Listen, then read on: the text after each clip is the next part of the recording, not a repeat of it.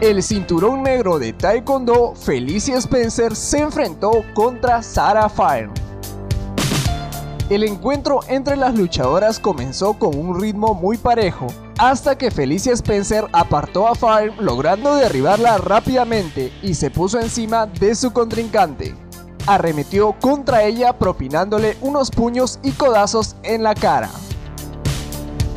Fire trató de liberarse de ella volteándose, pero Spencer no la dejó ir y continuó con la lluvia de golpes.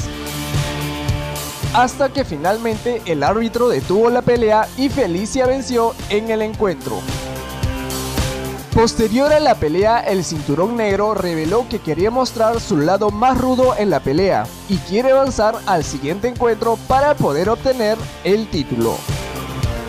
En su siguiente encuentro, Felicia Spencer podría enfrentarse por el título de peso gallo contra la campeona Amanda Nunes, quien impresionada por la pelea publicó en su cuenta de Twitter.